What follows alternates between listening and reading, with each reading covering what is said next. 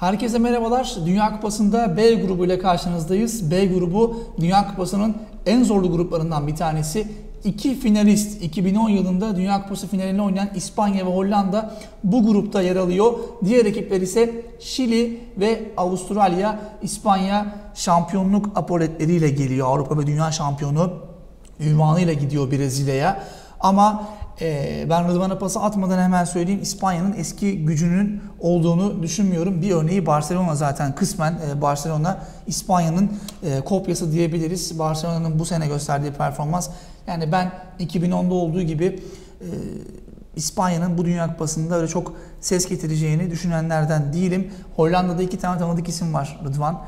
Fenerbahçe'den Kayt ve Galatasaray'dan Snyder. Hollanda'nın önemli kozları olacak. Onlar da artık bir başarı Dünya Kupası'nda bir zafer elde etmek istiyor. Bu grubun şöyle bir enteresan yanı var Rıdvan. Bu grupta ikinci olmak demek bir sonraki turda Brezilya ile oynamak demek. Bizim hesaplarımıza göre. Çünkü A grubunu Brezilya büyük olasılıkla lider bitireceği için bu grubun ikincisi A grubunun birincisiyle oynayacak yani İspanya, Hollanda tabii ki Şili'yi de bir kenara bırakmıyorum ama hani benim düşüncem iki ülkenin çıkacağı için bu iki İspanya Hollanda arasında bir de liderlik Evet yani savaşı olacak. kesinlikle söylemek lazım. Şimdi Brezilya'nın bir üst grupta lider olacağını düşünürsek e, A, B grubunu ikinci bitiren takım ikinci turda Brezilya ile oynayacak. Evet. Ev sahibi Brezilya ile oynayacak. Bu çok önemli. E, daha ilk maçtan da İspanya Hollanda ile oynuyor. var. Gerçekten liderliğin çok önemli olduğu bir grupta ilk maçtan da en büyük iki takım Dünya Kupası'nın son iki finalisti karşı karşıya geliyorlar.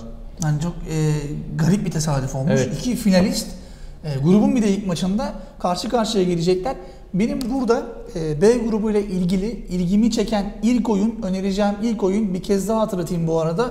E, tüm oyunlar nesne.com'da uzun vadeli oyunlar. Tabi adı üzerinde uzun vadeli ama aslında e, grup maçları 2 haftalık oyunlar olduğunu da söyleyelim. E, 23 e, Haziran gibi Yani 12'sinde başlıyor turnuva. yani iki hafta O- evet. aslında sonra sonuçlanacak. E, MBS 1 olarak oynanabiliyor. Benim düşüncem e, bu grupta Hollanda'nın gruptan çıkacağı olduğu için 1.40'lık bir oran var. Yani 1.40 e, iyi bir oran diye düşünüyorum. Eğer gruplarda gruptan çıkar kuponu yapacaksanız ki özel yetenek videomuzda bu kuponu yapacağız Rıdvan'la beraber. Benim bu grupla ilgili şahsi düşüncem Hollanda'nın bir üst tura çıkacağı yönünde olduğu için 1.40'tan Hollanda'yı önermiş olayım. Aslında burada Rıdvan e, bir de şöyle oyun var.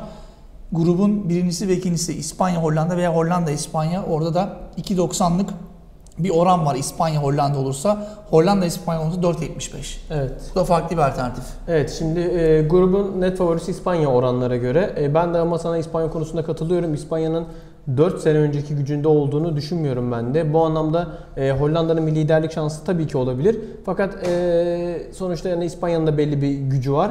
Bu grupta Şili'nin şansı oranlarda Hollanda'ya yakın gösterilmiş ama ben buna kesinlikle katılmıyorum. Şili'de takımın yıldızı Vidal ki zaten bence dünyanın en önemli orta sahancılarından birisi.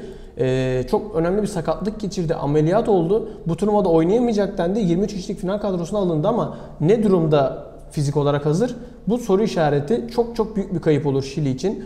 E Şili'nin ben Irak'la oynadığı hazırlık maçını da izledim. Yani Irak gibi zayıf bir takım karşısında bile o kadar zor durumlara düştüler ki defansta. Çünkü inanılmaz önde basıyorlar, yüksek pres yapıyorlar ve o kadar riskli bir oyun anlayışına sahipler ki yani savunmada çok büyük sorunlar yaşıyorlar. Bunu Hollanda, İspanya gibi takımlar değerlendirecektir. Ben Şili'nin gruptan çıkacağını düşünmüyorum. Sana katılıyorum. Bence de İspanya ve Hollanda bu gruptan Yani çıkacaktır. Alexis Sanchez hani şöyle bakıyoruz Vidal Evet. haricinde Alexis kadroya. Sanchez o da Barcelona'da çok iyi bir sezon geçirdi. Geçirmedi zaman zaman e, zaten zaman Yedekte zaman hatta çoğu zaman e, yedek başladı. Sonradan oyuna dahil oldu. E, o yüzden hani İspanya Hollanda iki devi geçmesi Şili'nin çok kolay olmayacaktır. Şu an için tabii bunu da söyleyelim. Oranlar sürekli güncellenebildiği için hani şu an için Hollanda'nın bir gruptan çıkma oranı veya İspanya Hollanda Hollanda İspanya kombinasyonu B grubu için e, güzel durmakta. B grubu ile ilgili yorumlarımızı yaptık.